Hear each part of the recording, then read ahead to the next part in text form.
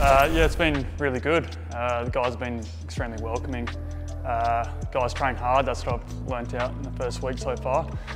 They're young and they're um, excited and, re and, ready to go, which is, uh, which is good, which is uh, exactly what I'm, what I'm uh, up here and, and, I'm after. So yeah, I'm excited.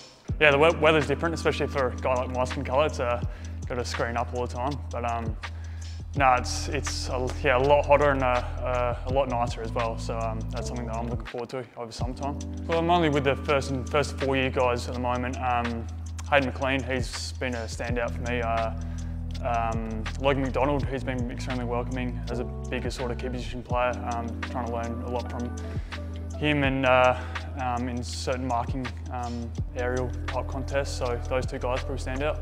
Uh, 2023, my goals are to play and play well, um, find a consistent position on the field and really produce some of uh, my best football.